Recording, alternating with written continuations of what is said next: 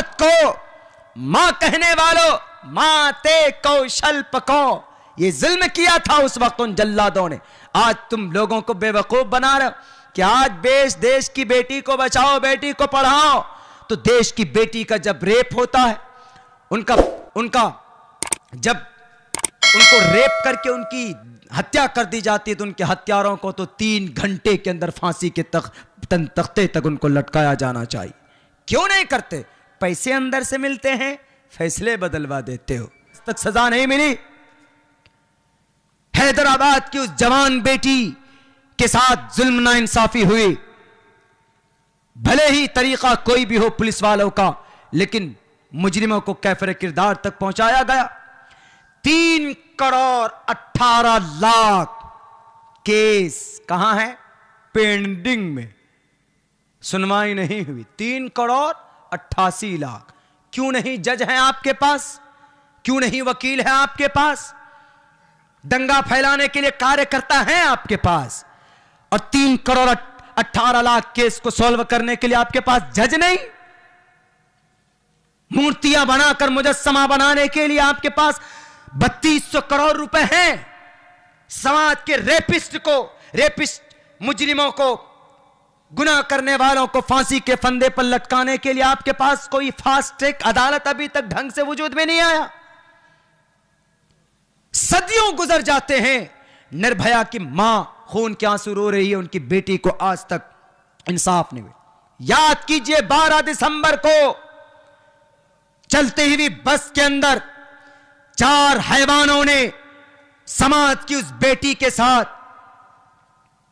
उनके साथ हैवानों जैसा सलूक नहीं, बल्कि दुनिया के अंदर इससे ज़्यादा खतरनाक, इससे ज़्यादा घिनौनी हरकत आज तक नहीं की गई होगी। उनकी इज़्ज़त को लूटा, इज़्ज़त को लूटने के बाद उनके प्राइवेट पार्ट में, उनके शर्मगाह में हाथ डालकर उन हत्यारों ने, उन जालिमों ने अंदर के जो ऑर्गन्स होते हैं, अंदर के अंदर जो अल्लाह तबारक व ताला ने जो निज़ाम एज एबडोमन एस्टमक उनके अंदर जो ऑर्गन्स होते हैं, जिनको तिल्ली, कलेजा, दिल, उनको नोच कर निकालने की कोशिश की गई। इतनी खतरनाक ब्रुटलिटी उनके फांसे हत्यारों को, उनके रेपिस्ट को, उनके मुजरिमों को आज तक सजा नहीं दी गई। किस बात ने आपको रोका? जब यह बात तय हो चुकी, जब वो इकरार कर चुका, सारे मुजरिमों को कटघरे के अंदर लाकर कानूनी प्रक्रिया के अंदर रखकर उनको फांसी के फंदे पर लटकाइए। सिर्फ़ चमचागिरी करते हैं अमेरिका की और इसराइल की। पता है अमेरिका के अंदर नब्बे दिन के अंदर बड़ा से बड़ा केस सॉल्व हो जाता है। नब्बे दिन में। नब्बे दिन से ज़्यादा नहीं जाता। यहाँ नब्बे साल गुजर जाते हैं। फिर ने कहा कि इनके खाल को खींच दो। औरत को कमज़ोर न समझा जाए। खाल खींच दी गई उस औरत की आसिया की।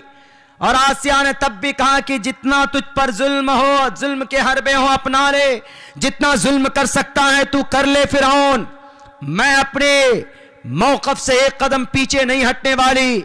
अगर तू ये समझता है, मैं समाज की बेटी हूँ, मैं औरत तुम्हें डर जाऊँगी नहीं। जितनी ताकत तुझ में है, तूने दुनिया को दिखा दिया। जितनी हिम्मत मुझमें है, अब मैं दुनिया को दिखाऊँगी। उनके सर से पैर तक खाल खींच दिए गए। यही नहीं, तब भी जब नहीं मानी तो लिटाया गया नीचे। नीचे एक भारी पत्थर का एक चटान रखा जाता है। ऊपर से उसका सर रखा जाता। उसके बाद एक कम से कम एक क्विंटल का पत्थर उसके सर के ऊपर डालने की मारकर उसके सर को कुचलने के प्रयास की जाती। जब वो पत्थर देखती है, अपने नज़रों के सामने जब उसने देखा, अब कोई चारा नहीं है तो उस वक्त उन्होंने अल्लाह से दुआ की, रब्बी बिलली बैतन फिल जन्ना। ए अल्लाह, आप अपने करीब मेरे लिए घर बनाइए। रब्बी नज्जिनी मिनल कौम जालिमी रब्बी बिल्ली इंद का बैतन फिल जन्ना। अपने पास मेरे लिए खूबसूरत घर बनाइए। इस जालिम से मुझे निजात दीजिए। पत्थर मार रहा था, पत्थर मरा, हज़रत जिब्रे, पत्थर गिरने ही वाला था। हज़रत जिब्राइल आए, फ़ौरन सातों दरवाजे खोल दिए गए जन्नत के। पत्थर गिरने से पहले पहले, सर कुचलने से पहले पहले जन्नत का दीदार करा दिया। इस धरती से उनकी रूह परवास कर गई, चली गई इस धरती से। जालिम के जुल्म से बचाया, लेकिन मरते दम तक अपने ईमान का अपनी ताकत का उज्जल्लात